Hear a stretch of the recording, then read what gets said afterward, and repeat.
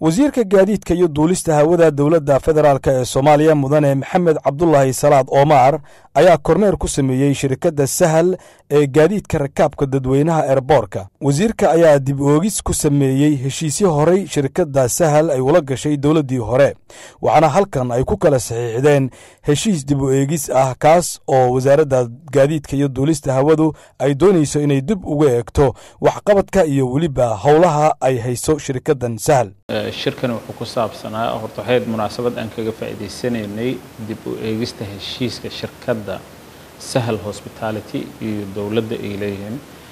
Shirkaddani waa shirkadda airport aadan cabdulle magaalada muqdisho.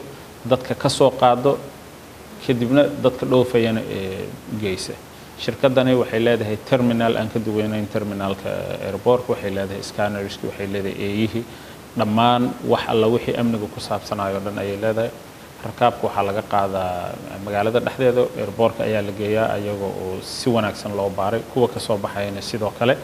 Waxaan dib u eegis ku sameynay dhammaan heshiisyada ka dhexeeya shirkadaha iyo dowladda. Inta dakhliga keento. Heshiiskii horeo la galnay dowladdii soomaaliyeed ayaan wasiirka iyo waxay noo soo sheegeen oo nagu wargeliyeen in loo baahanya dib u heshiisiin in lagu soobiyo oo dib loo eego.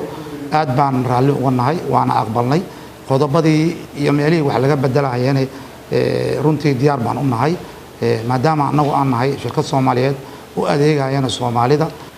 Midda labaad waxaan kula kulannay shirkadda dad shaqaalo cusub oo shirkadda ay qaadatay. Shaqaalahaas oo ah dad aan maxaa la yidhahdaa dad curyaamiin ah. U shaqeey u shaqeey leebal sii gabadhan maasha allah shaqadan haayo waa taad aragtid leebelkaas qofka boorsadiis markii gaari gacanka halkaas laga soo saaro. Si toosoo halkaas u maraya markaasaan dhahaa boorsadaada walaal ha ka tegin. Leebel ku dhegso leebelkaas waa muhiim. Hodhow aad ku qaadanaysid garoonka markii aad tagtid waa inaa hubisaa ina boorsadaa lagu wado in kale aad hubisaa. Intaasaan dadku sheegaa. Maasha allah adeegaa bulshadaas saasaan u qabtaa. Halkan waa xarunta shirkadda sahal waxaana loo yaqaanaa terminaalka sahal. Dadka soo dega ee dalka dibaddiisa ama dalka gudihiisa ka soo dega markay yimaadaan eeraboorka dadkooda halkaan ku suga dadkooda halkaanay ku ballamiyaan. Qofka soo dega eerboor ka soo dega basaskaa ka soo qaada halkaana loogu keenaa dadkoodii. Waxaan sugayaa dad imaanayo oo soo degaayo meeshaana ku sugayaa. Baabuur disableayna saareen shalay oo nagu geeyeen airboortka really curyaana waday halkaana baabuur qaasal iga qaaday.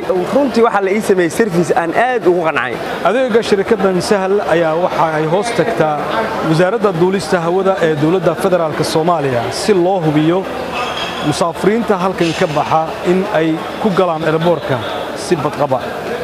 Sahal waxa ay jirtaa hal sana iyo laba bilood. Ibraahim cumar baafe wararka universal magaalada muqdisho